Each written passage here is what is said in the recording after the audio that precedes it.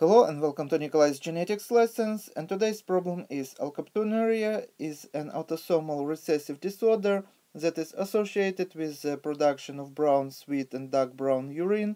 In a certain population approximately 1 out of 90,000 people are affected. What is the approximate carrier frequency for this condition? And here is the answers to choose from.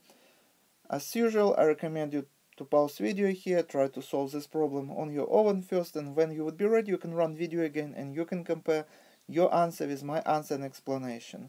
In order to solve this problem, everything we have to know is Hardy-Weinberg formula, and in this formula, F stands for the frequency of the three genotypes that can be made by two uh, alleles. So it equal to P squared plus 2 pq plus q squared and all this equals to 1. So p squared in this formula stands for the homozygous dominant genotype, 2pq stands for the heterozygous genotype, and q squared stands for the uh, frequency of the homozygous recessive genotype. So if we add frequencies of all three genotypes, this would equal to 1 or to 100% because 1 here equals to 100%. And of course, all the alleles P in this formula plus all the alleles Q would equal to 1. Because as you see, these three genotypes are made by only two alleles, dominant allele A and recessive allele A. So we put dominant allele A here and recessive allele A here. So we know from our problems that one out of 90,000 people are affected. That means that one out of 90,000 people belongs to this genotype and phenotype because uh, here genotypes equal phenotype and um, how we find number q if we are given q squared we just have to take a square root of this number. So q would equal uh, square root taken out of the q squared. So q would equal uh, 1 out of 300.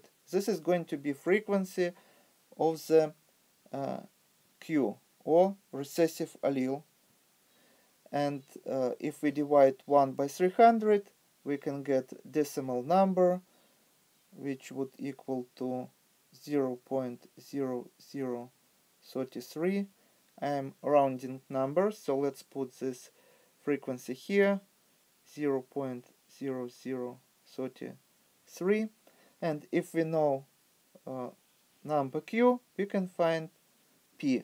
It is very easy because p plus q equal to 1 so we can put 1 here also. And in order to find p frequency of the allele p uh, we have to subtract from 1 this number.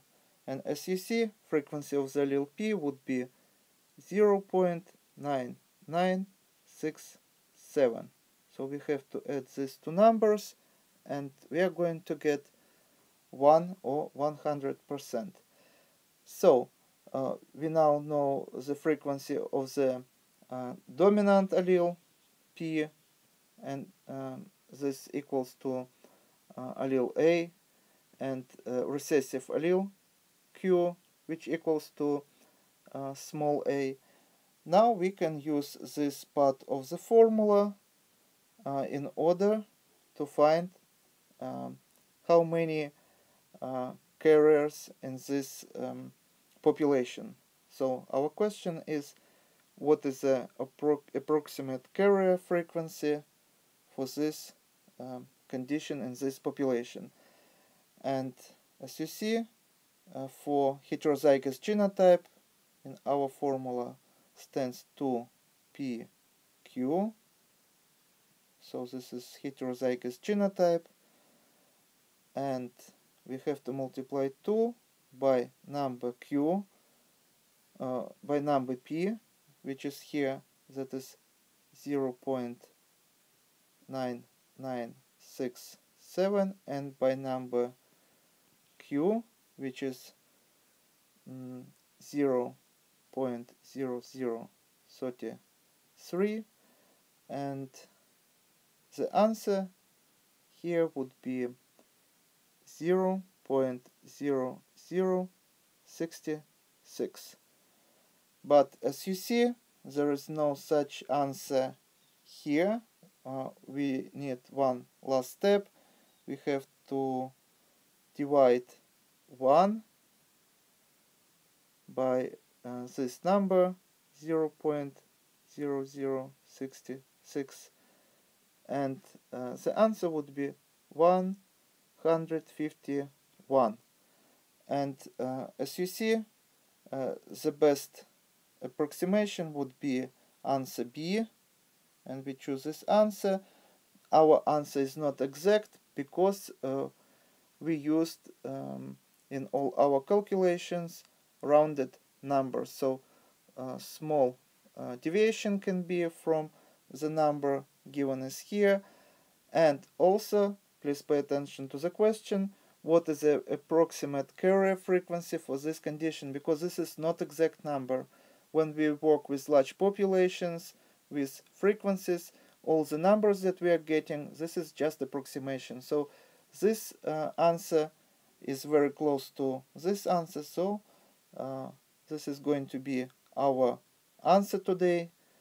And of course uh, you can find now frequency of the homozygous dominant genotype uh, and uh, here is the frequency of the heterozygous genotype is 1 out of 150 uh, let's put 150 so uh, we just have to add this number to this number and subtract from 1 and this is how we can find um, uh, homozygous dominant genotype or we can just have to multiply this number by itself so we are going to get p squared. And this is also going to be frequency of the homozygous dominant genotype. So now you know how to solve uh, such problems. I hope if you would find such problem on your exam uh, you would be able easily to solve it.